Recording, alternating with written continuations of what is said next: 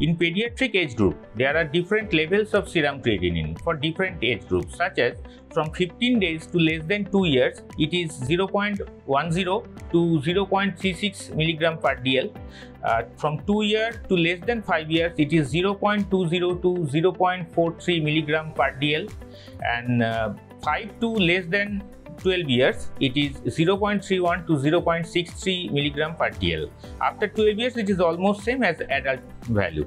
Creatinine level should be checked in children when the child is suffering from any acute kidney disease, uh, glomerulonephritis, nephrotic syndrome, etc. And in pregnancy, serum creatinine level usually decreases. Usually it is less than 0.8 milligram per dl. Uh, any, any higher level of creatinine suggests intravascular volume contraction or renal involvement which is seen in preeclampsia. Kidney function can worsen in women who are having uh, pre-existing renal disease and uh, it should be monitored by regular antenatal checkup. Uh, it should, the BP should be controlled and um, the doctor should check whether there is any presence of protein in urine regularly.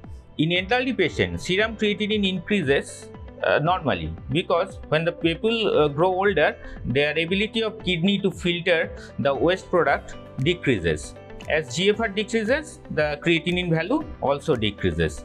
And uh, the elderly people have to plan their diet, their water intake, uh, uh, with uh, their respective doctors, especially the people who are suffering from diabetes, hypertension, and pre existing renal conditions. Thank you.